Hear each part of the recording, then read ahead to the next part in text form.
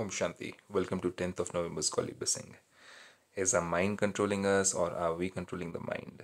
Who's we over here? That is the soul itself. And is the soul controlling the mind or is the mind controlling the soul? Who's more powerful? We're going to explore this in a bit in this beautiful blessing.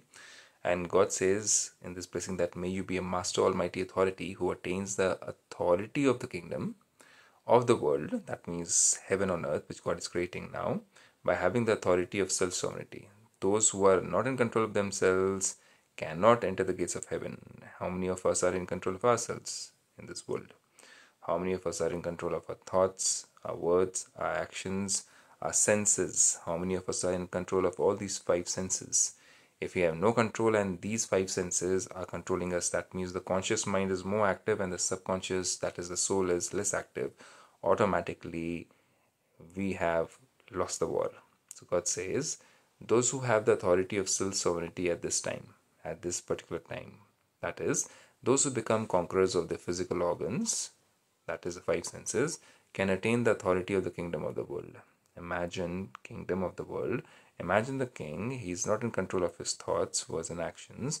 So he's not supposed to say certain things through his mouth, but he ends up saying those things and starts hurting people around him in the kingdom. How would that work for him in the long term? Yes, exactly.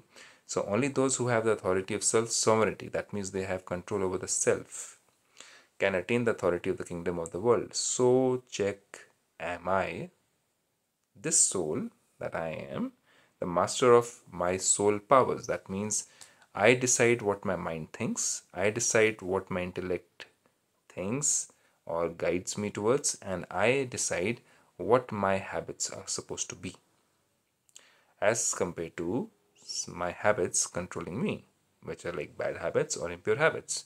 Does my mind control me or do I control my mind? This is such a big question.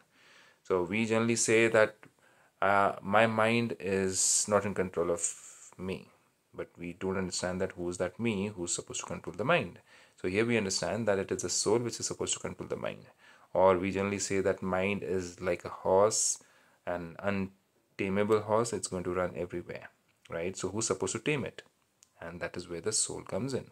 So if i am a soul and i am not focused upon my physical body and my physical bodily attainments that means the name the fame the money the wealth the power the post and the position then if anybody insults me on the basis of these few things which we just discussed my mind is not going to get weary my mind is not going to get disturbed if anything comes in all of these areas whether it's physical looks whether it's power post position funds if there is a loss in these areas of my life physical health my mind shall not flutter that means I'm not dependent upon these areas for my happiness, for my joy, for my contentment, for feeling stable. And that is what we learn in Brahma Kumaris that how do we differentiate between these two things? Because I am a soul, I'm not somebody who's defined by the physical realities around me. So God says, Does my mind control me or do I control my mind? My sanskars do not pull me to themselves, do they? That means my sanskars, my habits of let's say eating too much, sanskars of finding faults in others, sanskars of comparing, sanskars of sleeping late at night, sanskars of waking up late in the morning, sanskars of untimely eating, untimely sleeping, untimely or let's say no discipline in a life, if those sanskars are pulling me towards themselves, then am I a self-sovereign? That means to have control over myself. No. The stage of one who has a right of self sovereignty is constantly that of a master almighty authority. One who has no power missing. Now, that is the highest stage. That means there are eight powers, which are the minimum powers, but there's so many other powers which we are supposed to have. So, there's a book on powers in Brahma Kumaris. We can go through them also. And to learn the basic powers, the eight powers, we we need to actually take the seven day course and meditate on Supreme Creator. To know more about it, do visit a Brahma Kumari Center and learn about this. Om Shanti with this.